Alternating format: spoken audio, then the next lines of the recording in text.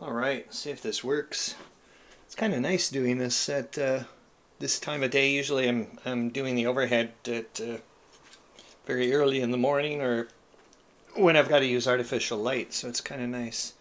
Um, what can I say? What can I say? It's not going to be much going on right now. I'll just give you a general gist of what's going on because uh, to be honest with you, it's um, yeah, it's the fun time for me. Well, I mean, it's all relative, right? In the sense, oh shit, that flipping word again. But um, this is the ultra, well, one of the good fun times I like to just stare at the map because it's at that point I'm like, no, I'm going to have to stare. It's also, I'm a bit, um, before I got into the spies chapter there with Sun Tzu, I was reading some stuff on the terrain and um, I jumped. I, I just like kind of randomly snagged a chapter afterwards, but um, gonna have to go back to the terrain bits because it's a dense chapter. There's not very many pages. It's just dense. Well, at least this part of it is. Anyways, it's like it's about like um, saying things such as uh, entang entangling terrain and uh, accessible terrain and what does this mean for you and what does this mean for the, your opponent and so on and so forth. This is flipping fascinating.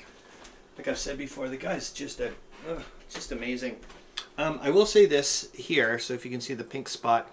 So this is me for the narrative. I've got to figure out how to get Anatoly, Anatoly Rosenshield over to here. Secondly, um, this yellow spot here, I made a mistake. All these guys were jammed up in Lublin, so that was two headquarters, three corps HQs, three replacement uh, infantry divisions, and a brigade. I think it came, came out to seven and a half. You're only allowed six. So I was like, oops, I made a mistake. So what I did was I moved the 9th Army over here. That's where all his troops are anyways, uh, uh, Pleve. And um, P-L-A, P-L-E-H, P-L-E-W-E, I do believe, P-L-H. Uh, there's an H in there somewhere. uh, anyways, I moved him over with all his stuff, and what I've done as a penalty for myself is all those units are now immobilized for the turn. Uh, there'll be no recombination, which sucks because there's a lot of stuff going, nice stuff going on here.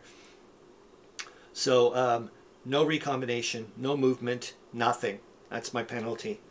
Uh, also, when I was looking up, um, was it the Berlin-Baghdad Railway? No, it was in the Grand Campaign. I was just flipping through, uh, um, just enjoying the sunshine. And it's um, a chunk, like I'm just starting, starting to figure out what parts of the Grand Campaign I want to focus on, the rules section in December, in, you know, December 1914 going into January, because everything's going to be kind of stat. I'm not doing anything in Jan December. I'm just going to look at what's going on historically with all the fronts, integrating them with my, with my game, and then um, uh, go that. So in other words, I'm not. Yeah, there's not going to be any. I, I need to know what's going on, and then okay, I'm like okay, then I'll know like th those strength points are there, those supply point. You get the idea, I hope. Um, oh yeah, it was about the rail, uh, the rails, the rail stuff, uh, which is kind of in keeping of what Meandering Mike was mentioning in, in one of the comments about uh, when I made the mistake about uh, uh, uh the double rail here or whatever the heck it's called. Uh, uh, and these are single track. Let's just go with that. And he was saying, no, you have to look at it from maybe it's the getting the joining, getting carriages this way and that way. It's actually not the whatever back and forth. And when I was looking at the rules, it starts talking about how to extend, uh, how to start creating more railways and what, oh my god, I can't wait for that stuff, and so on and so forth. And they were starting to talk about, um, just, yeah, it's, I could start seeing it. I was like, okay, these, this is the weak points. It's kind of like the hubs or when you start, that's what it's trying to represent. Yeah, I was like, okay, it's still cloudy or whatever, but at least it's not, you know, um, you know, uh, opaque. It's, you know, translucent now, I guess is what I'm trying to say. So that's really about it. I have to start, oh yeah, there's 26 open holes. That's why I have all these little things here. These are just, I don't know if I mentioned it in a previous video anymore. I don't know. Like, I'm just doing my stuff now in my head and just, um, See, these are just old um, disruption markers that I used to use when I played miniatures and whatnot.